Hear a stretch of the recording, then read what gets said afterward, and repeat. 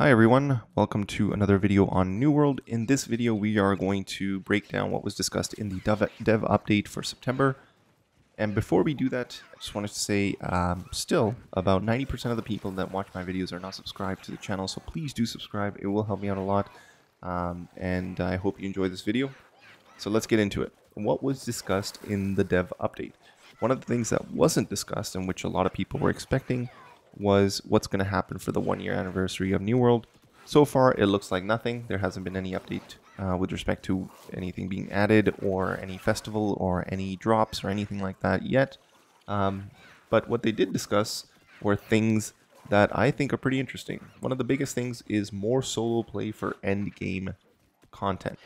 What that means is you will be able to do more end game content on your own versus having to raid versus having to go into um, expeditions and do those. Uh, raids are also something that they are planning. Uh, these are going to be 20 to 30 people raids, um, maybe 35. I can't remember the number off the top of my head, but they did mention it. So these are also coming for the end game. So there will be some bosses to fight that uh, will require a lot more coordination, and it'll be a lot of fun to see what uh, these raids look like um, some PVE content that is hard or is as hard as wars currently are for PvP.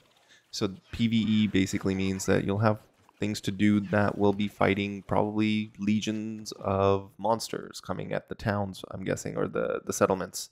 Uh, so it's kind of like war, so it's a defend the base type of thing, most likely is my guess. Um, so yeah, you guys can speculate in the comments if you, what do you think that would be? And what do you think the raids are going to be like? I, I, have a feeling the raids, one of them will probably probably be the worm in Brimstone Sands. I know some of you have seen that um, through gameplay that people have posted. I did see it on my first playthrough of Brimstone Sands, and I didn't play through all of it because the, the one of the missions was bugged, uh, so I stopped playing. Uh, but I did see the worm, and it looks pretty awesome. So another thing that they discussed was a method for gear change or um, outfit change, basically, or um, loadout change. So you could have a gear set for tanking, a gear set for uh, PVE, a gear set for PvP, a gear set for crafting, and uh, they're working on uh, things that they can do to allow us to swap that gear and do different things throughout the world without having to go into our inventory and swap out the particular uh, pieces ourselves. Will probably be um, nodes or basically uh, specific gear sets that we can equip and uh, switch between. I'm guessing it'll probably cost Azoth, um, but um, and also possibly real money. We'll see how they implement that. Um, mounts confirmed, definitely coming into the game, uh, but in terms of timeline, there is no timeline. KD was very adamant about that. No timeline for mounts, um, but they are in the conceptualization of mounts and uh, the designing phase of mounts. Uh, the world is continuing to grow as well. So we got Brimstone Sands, and they have more areas planned after that. The they did talk a lot about the Ennead expedition and um, how the Ennead expedition is going to do or going to result in some event once you go through the story. And I haven't played enough the Brimstone Sands to know exactly what that is, and I, I wouldn't want to spoil it for anybody or for myself. So if you haven't seen it yet, I wouldn't recommend searching for it. But my guess is that's what's going to lead into the next story arc. Um, and that's how we'll probably get a new area. Maybe one with ancients, maybe one with the the, the angry earth. Uh, who knows? Uh, and then one of the the coolest things that uh, they talked about were the 26, 26 ancient glyphs that you can find throughout Brimstone Sands. So these glyphs they are part of the ancients language and they can do things like open two-way portals. So you can portal in and out of certain areas or to certain areas. They can unlock secret chests within expeditions and labyrinths. They can lower magical walls that would result in you finding hidden rooms.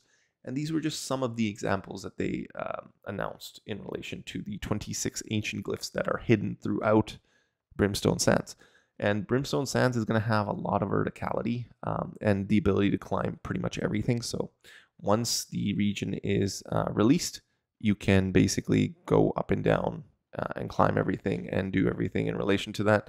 Um, and there will be a lot of secrets in Brimstone Sands. heart gems, they talked about those as well. Um, so if you have done the main storyline in uh, the current iteration of the game, you know that you get a heartstone uh, eventually, and I won't say how or why uh, for those that are new to the game or will be joining the game or uh, coming to the game. Um, but these heart gems uh, will have a new ability that you can activate, and it's kind of like a ultimate. You can think of it like an ultimate, where it charges over time based off of you attacking enemies, taking damage, and so on and so forth. And they've said that um, their plan is to have the heart gem abilities uh, be able to be used approximately every minute. So uh, you would be able to use that uh, in PvP. You would be able to use that in PvE once every minute, approximately.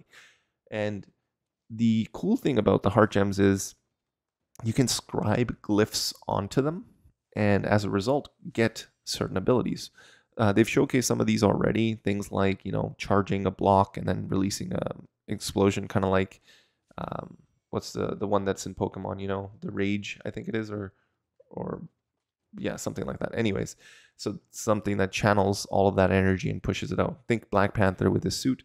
Um, and then there's also one that um, allows you to pull out a cannon and shoot a cannonball. Uh, so these are some cool abilities, just a few examples. There's so many more, they said. Uh, well, 26 ancient glyphs. I'm assuming some of there's probably going to be at least 10 or 12 different abilities, and they do scale as well.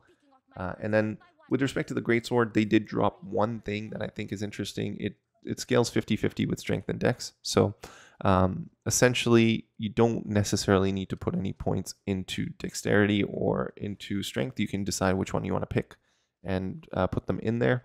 Uh, I do think that at some point, though, uh, and I've noticed this with other weapons, where the dex, if you've been just putting it into one point, you, it, once you start putting into the other, it actually gives you a bigger benefit, and that's where the 50-50 comes in. So it should allow for a lot of uh, different play styles, and obviously, as everyone knows, tanking is taking um, a, a prime role for them, and they've implemented a lot of things with the great sword that help with tanking and give buffs to your teammates and so on. And and that's essentially all of the notes that I took while listening to the dev update. Let me know in the comment section below if there's anything that I missed or if there's something that you noticed that was cool and that I that you think that everyone should know about. And thank you once again for watching. Keep it locked on this channel for more New World content, and I will see you all next time.